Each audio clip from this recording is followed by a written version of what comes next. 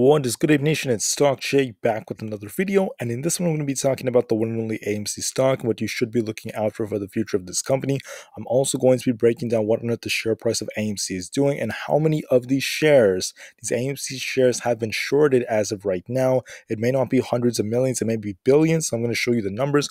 I'm also going to break down the IWM or the Russell 2000. AMC is listed on the IWM, and we're noticing that the short interest of the IWM has increased as well. So I'm going to show this to you as well. But before I break any of these numbers down, before I show you how AMC and the IWM are in unison right now, they're both being shorted by these big companies to bring AMC down. I do have to mention a couple of things real quick. The first thing is I'm not a financial planner, so please don't take this as financial advice. And also, if you guys can, please smash the like button if you want to see more videos like this. It not only benefits me, benefits the entire ape community as a whole.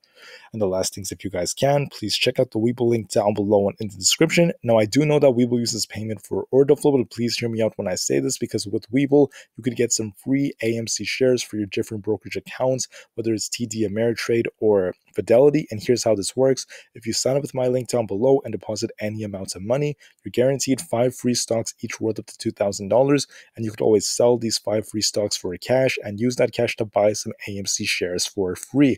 Now, this is a limited time offer, so please check it out before they run out. With that out of the way, let's get on with the video. So, anyways, looking at AMC, we could see the thing is currently down at the time I'm recording this, but one of the things that isn't down is the short interest for AMC. Now, when we go back to the data, we could make the presumption that the float is 513.33 million.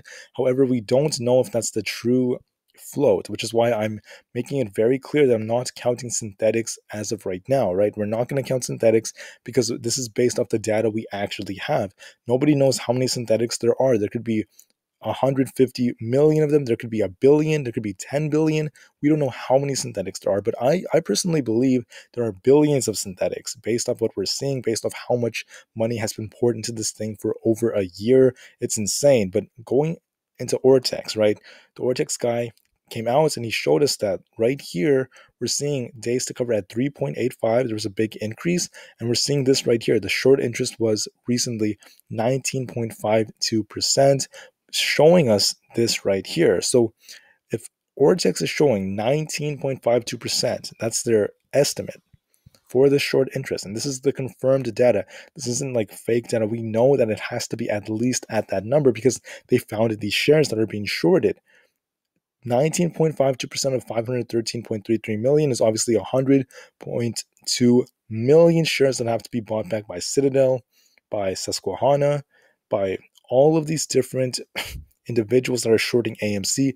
That's not counting synthetics. So this could easily be, you know, over a million, a billion, right? Over a billion shares that have to be bought back. This could be 10 billion, which is why people believe AMC has the potential to make super, super high numbers. But we're not going to go with that right now at the very least, it has to be this many. We know this for sure. And that's why I'm just going to go with this number for now. With synthetics, it could be billions, but then there's a lot more to this story than that. It's not like that's the only thing that's going to push AMC up because when you look at Stonk-O-Tracker data, check this out right here. You could see right here at the time I'm recording this, okay? 450,000 shares available to borrow. Okay, no big deal. 6,956 ETF shares available. Why on earth is this showing? Well, you could see ETFs taken into account, sometimes that includes uh, BUZZ or the IWM. Even the SPY is often shorted to short AMC, but the IWM has been shorted like crazy to bring AMC down. When you look at the IWM uh, short interest, this is the uh, ETF excuse me, the ETF known as the Russell 2000, right here. Russell 2000. AMC is listed on the Russell 2000, right here. Short interest, 116 million. According to the New York Stock Exchange, days to cover for it is 2.79. Not really a big deal, right? Well, check this out here. If I go down, I actually showed you guys this last week. Last week, IWM had 109 million shares shorted. Okay, 109 million. Now it's at 116 million. They shorted an extra 7 million shares in less than seven days. That's like a million a day that they're shorting. That's crazy. That's insane. 116 million of the IWM shares were shorted because when you actually go on here and you actually look at the IWM, look at how this thing's been dropping. It's crazy what they're doing. And if you actually look at this, let's go a little bit back. When I talk about the drop, look at it over the last year. This thing was trading around that $243 range.